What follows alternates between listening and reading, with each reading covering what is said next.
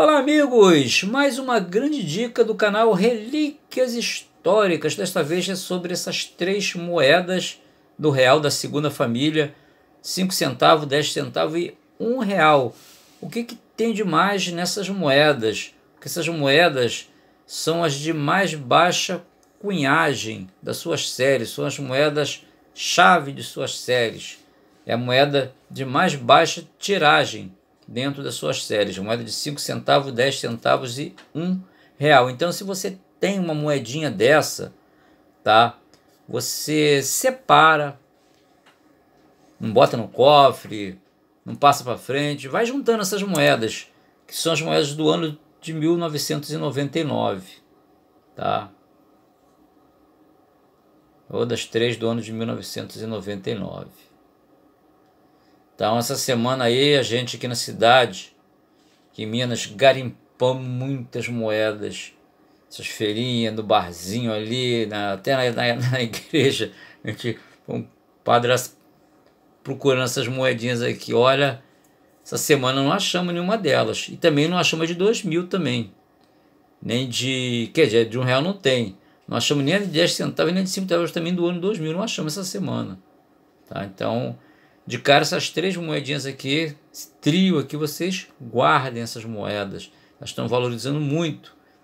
Tá? Vou mostrar no catálogo o valor dessas três moedinhas. Só que tem outro detalhe também, depende do estado de conservação das peças. Já tem que estar assim, ó, pelo menos com brilho, em bom estado, tá?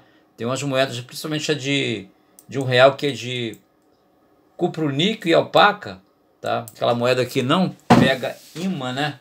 Lembra daquela moeda que muita gente jogou fora, achando que era moeda falsa aqui, ó. Deixa eu pegar aqui, ó. ó. Todas elas pegam do real, ó, de um real não pega, tá vendo?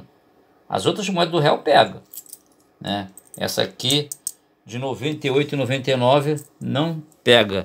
Lembrando que 2000 não teve moeda real do ano 2000. Nem 2000, nem 2001, nem também de 2015 moedas normais. 2015 teve aquela do 50 anos do Banco Central e moedas olímpicas. Moeda normal não teve em 2015. Então a de um real de 99, pegando carona com a de 98, tá? Apenas 3 milhões 840 mil peças cunhadas, tá?